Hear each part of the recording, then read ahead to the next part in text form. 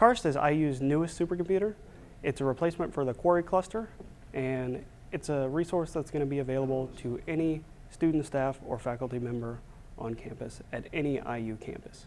It continues IU's long history of open access to computing resources, and we want researchers to leverage this system to be able to get additional grant funding, uh, to use it for their, um, their high throughput workloads and departmental workloads.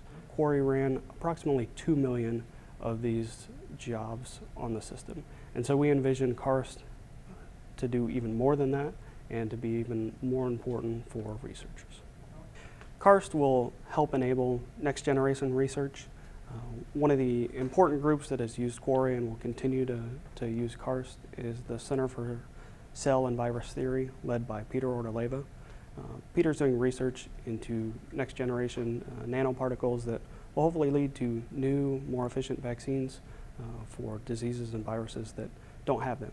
The other really interesting project is NASA's Operation Icebridge and our partnership with the Center for Remote Sensing of Ice Sheets at the University of Kansas. So they currently use Quarry to do all their data processing of uh, synthetic aperture radar, basically measurements of how thick the ice is in Greenland and in Antarctica, as well as sea ice surveys. And so they do all this processing on Quarry today.